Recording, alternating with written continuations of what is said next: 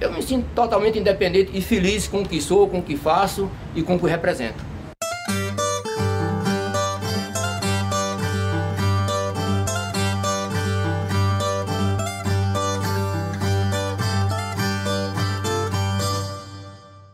A inspiração é um segredo muito profundo, né? Nem sempre quando a gente pretende ela chega. Leandro Gomes de Barro fez um cordel no passado.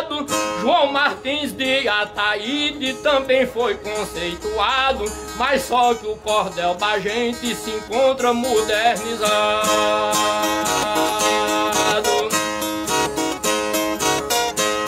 Tá muito mais elevado, melhor de se pesquisar. Esse mundo fictício deixou-se de penetrar. Vive-se a realidade, não pretendemos mudar. Morava em Pestaranela e, e ouvia um programa de, de era Violas e Violeiros, de Antônio França e Juvenal Evangelista na rádio Vale do Jaguari, Limeiro do Norte a muitos quilômetros de distância, a gente não tinha rádio. Eu, quando se aproximava às 10 e meia da manhã, eu andava mais ou menos um quilômetro de pé, correndo, para chegar na casa do vizinho para ouvir o programa. E às vezes nem quando o rádio não estava ligado, voltava desconfiado, triste.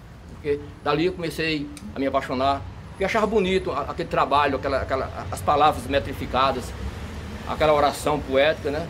Eu disse, será que um dia eu vou fazer isso? E terminei fazendo.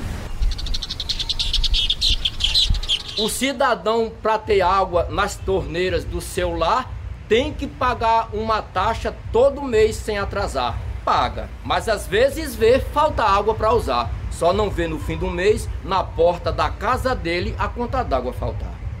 Para ter eletricidade na casa que ele tem, tem uma conta mensal que para o endereço vem. Mas a grana tem que ir para o bolso não sei de quem.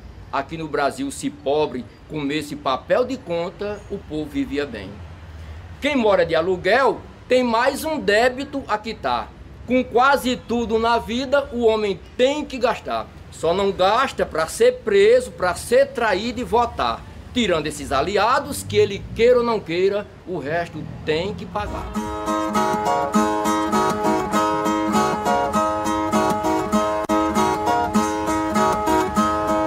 Cantoria da gente precisa ser preservada.